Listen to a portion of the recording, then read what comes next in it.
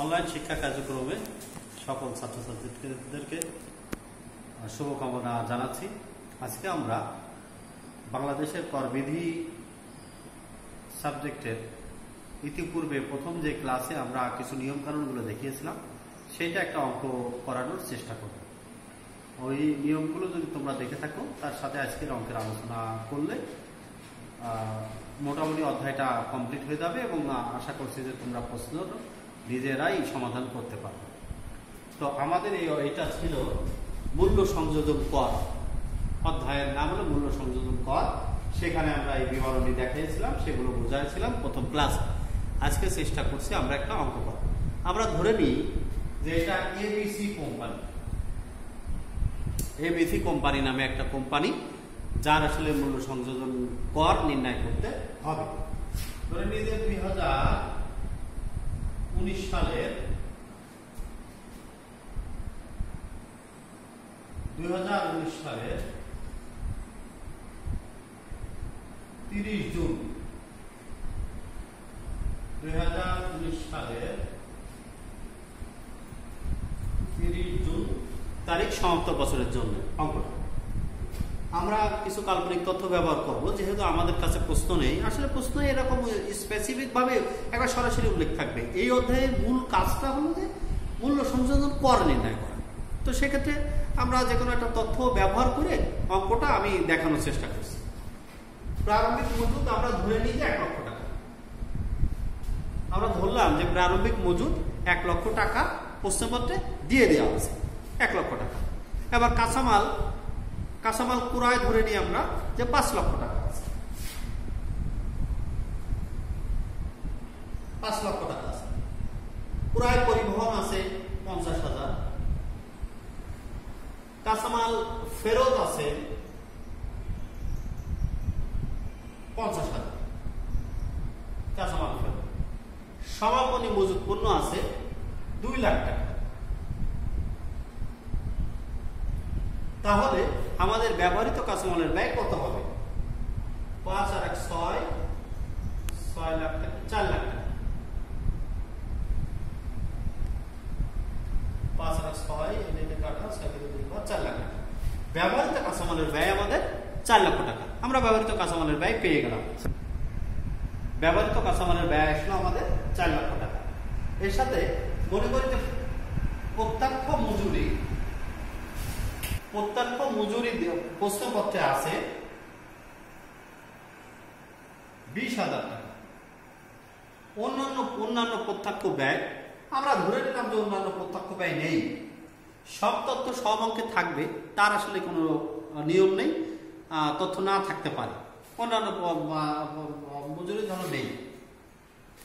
তো তাই যদি হয়, তাহলে এখানে বিশ হাজার টাকা প্রত্যক্ষ, মজুরি বিশ হাজার যোগ হলো তাহলে মুখ্য ব্যয় হলো চার লক্ষ বিশ হাজার টাকা।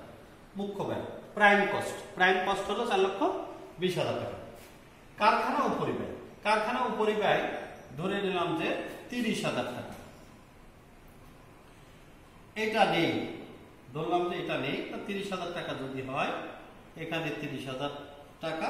তাহলে কারখানা ব্যয় হলো চার লক্ষ পঞ্চাশ হাজার টাকা। কারখানা ব্যয় চার লক্ষ পঞ্চাশ হাজার প্রারম্ভিক অসমাপ্ত বা প্রারম্ভিক চলতি কার্য হলো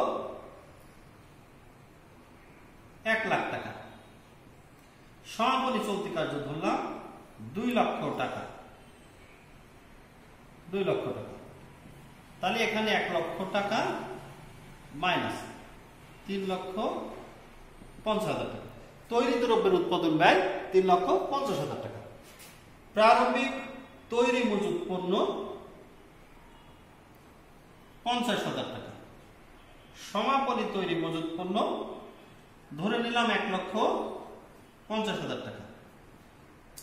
তাহলে এখানে এক লক্ষ টাকা মাইনাস। এক লক্ষ টাকা মাইনাস। তাহলে এখানে হলো কত? দুই লক্ষ পঞ্চাশ হাজার টাকা। বিক্রিত পণ্যের ব্যয় হলো আমাদের দুই লক্ষ পঞ্চাশ হাজার টাকা। অফিস ও প্রশাসনিক উপরিব্যয় পঞ্চাশ হাজার বিক্রয় ও বিতরণ ব্যয় এক লক্ষ। তাহলে এক লক্ষ পঞ্চাশ হাজার। দুই লাখ, তিন লাখ, চার লাখ। মোট ব্যয় হলো কত? চার লক্ষ টাকা। এখানে আরেকটা কথা বলে রাখি, আমাদের মুনাফার কথা বলা আছে। মুনাফার ব্যাপারটা ক্লিয়ার হচ্ছে? মুনাফার ব্যাপারটা প্রশ্নপত্রে দুই ভাবে বলা থাকতে পারে। দুই রকম ভাবে বলা থাকে। ইংরেজিতে যেটা বলা এর- এর- এরকম থাকে। প্রফিট প্রফিট অন কস্ট আর একটা কথা থাকে। প্রফিট অন সেলস অর্থাৎ,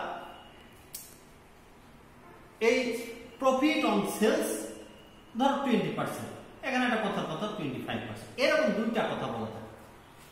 আমাদের এইটা একটু নির্ণয় করা শিখতে হবে মুনাফার ক্ষেত্রে। মুনাফার ক্ষেত্রে। মুনাফা যদি সরাসরি বলে দেওয়া থাকে, মুনাফা এক লক্ষ টাকা, পঞ্চাশ হাজার টাকা তাহলে তো কোনো সমস্যা থাকে না। কিন্তু সেটা সাধারণত অঙ্কে থাকে না। এই জাতীয় কথাবার্তা বলে দেওয়া থাকে। অর্থাৎ মোট ব্যয়ের উপর মুনাফা বিশ পার্সেন্ট বা বিক্রয় মূল্যের উপর মুনা- মুনাফা দশ পার্সেন্ট। এইটা এইটা এটা ধরো- মোট ব্যয়ের উপর?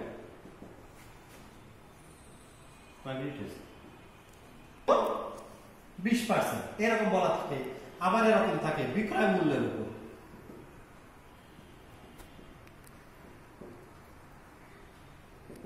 বিক্রয় মূল্যের উপর পঁচিশ পার্সেন্ট বিশ পার্সেন্ট বা তিরিশ পার্সেন্ট এরকম একটা কথা বলা থাকে। এখন যদি সরাসরি বলা থাকে যে মোট ব্যয়ের উপর বিশ পার্সেন্ট তাহলে তো কোনো কথাই নেই। আমাদের হাতে মোট ব্যয় আছে। আমাদের হাতে মোট ব্যয় আছে।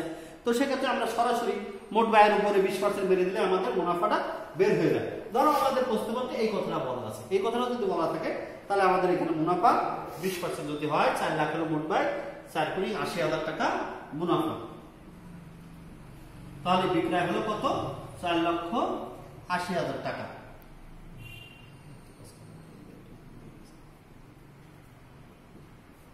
বিক্রয় মূল্য কত? চার লক্ষ আশি হাজার টাকা। তো চার লক্ষ আশি হাজার টাকা হলো আমাদের বিক্রয় মূল্য বের হলো। আমাদের নিশ্চয় আমরা এই এই যে বিবরণীটা, বিক্রয় মূল্য নির্ণয়ের যে বিবরণীটা, এটা আমরা বুঝতে পারছি। এখন আমাদের মূল প্রশ্ন ছিল যে আমরা মূল্য সংযোজন কর নির্ণয় করব। মূল্য সংযোজন কর যদি আমরা নির্ণয়- করতে যাই, তাহলে বিক্রয় মূল্যের উপর আমরা জানি যে পনেরো পার্সেন্ট বিক্রয় মূল্যের উপর পনেরো পার্সেন্ট তাহলে আমাদের এখানে চার লক্ষ আশি হাজার টাকার উপর হলো, চার লক্ষ আশি হাজার টাকার উপর পনেরো পার্সেন্ট চার লক্ষ আশি হাজার টাকার উপর পনেরো পার্সেন্ট কত হয়? চার পনেরো ষাট। আর ওটা হচ্ছে পাপা কই? এ করো। করো। হ্যাঁ বুঝছে? হ্যাঁ? চার লক্ষ আশি হাজার টাকার উপর পনেরো পার্সেন্ট হয় কত? বাহাত্তর হাজার টাকা। বাহাত্তর হাজার আর এই যে আমাদের ব্যবহৃত কাঁচামালের ব্যয় কত? চার লক্ষ টাকা।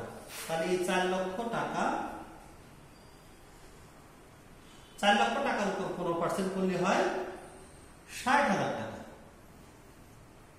অর্থাৎ এই ক্ষেত্রে কোম্পানিকে আর মাত্র বারো হাজার টাকা